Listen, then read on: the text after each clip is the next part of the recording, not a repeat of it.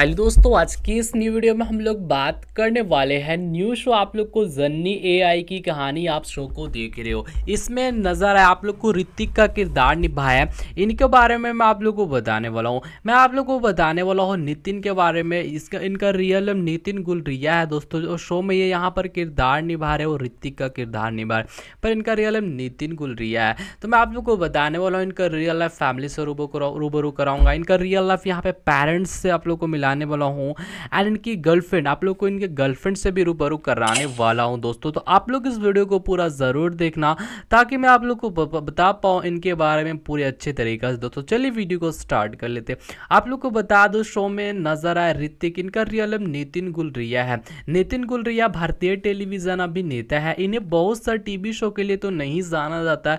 फ़िलहाल ये एक ही टीवी शो में नज़र आए हैं दोस्तों, जो अभी आप इनका फ़र्स्ट टीवी शो है दोस्तों, जो अभी आप लोग टीवी से दो शो देख रहे हो। एंड आप लोग को बता दो, काफ़ी सॉन्ग में ये नज़र आ चुके हैं एंड काफ़ी म्यूज़िक वीडियो में भी नज़र आए हैं।